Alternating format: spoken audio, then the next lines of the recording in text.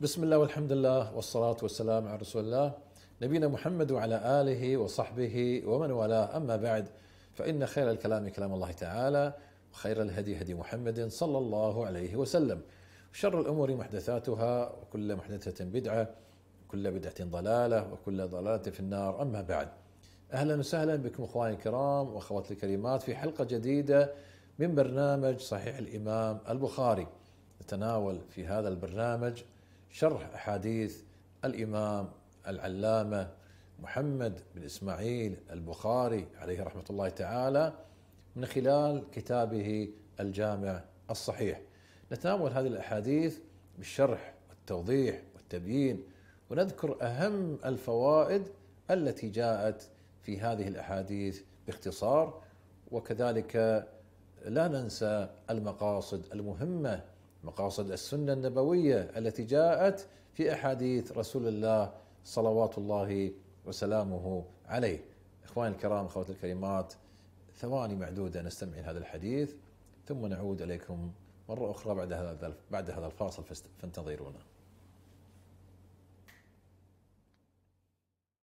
عن أبي هريرة رضي الله عنه أن النبي صلى الله عليه وسلم قال إذا وقع الذباب في إناء أحدكم فليغمسه كله ثم ليطرحه فإن في أحد جناحيه شفاء وفي الآخر داء.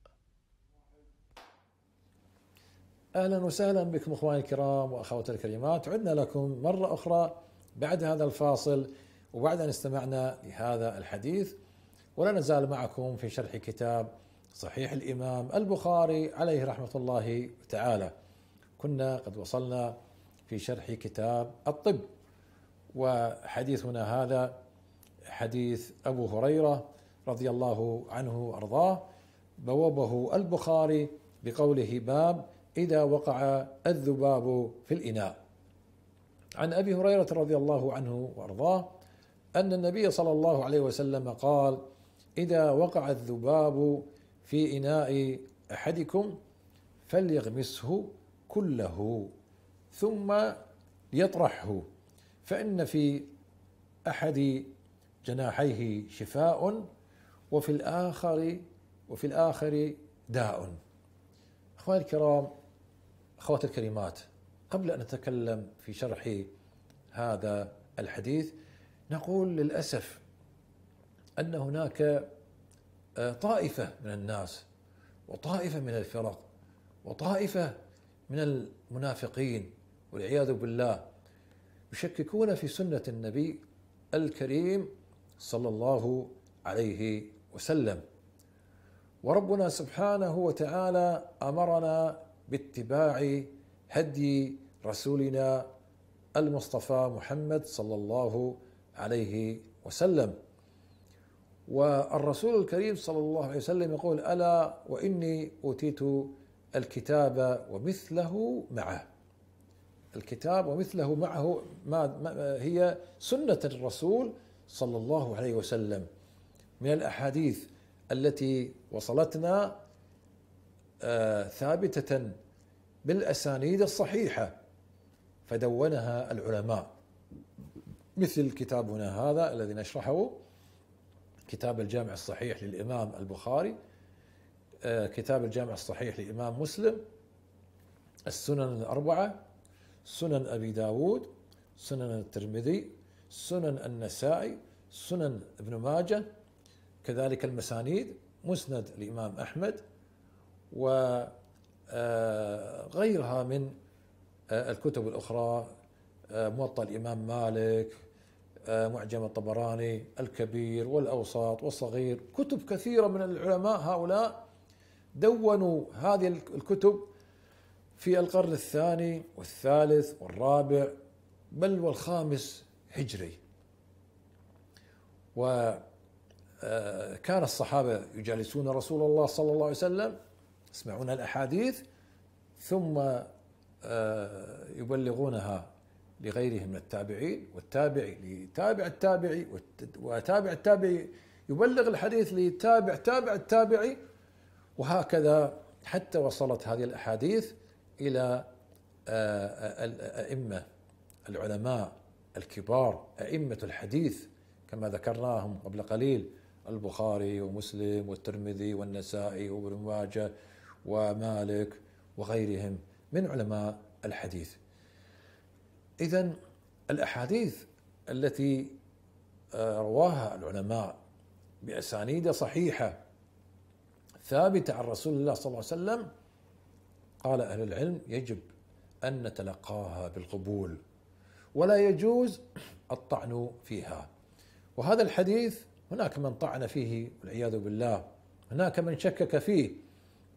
في قول النبي الكريم صلى الله عليه وسلم قال إذا وقع الذباب في إناء أحدكم فليغمسه كله ثم يطرحه فإن في أحد جناحيه شفاء وفي الآخر داء.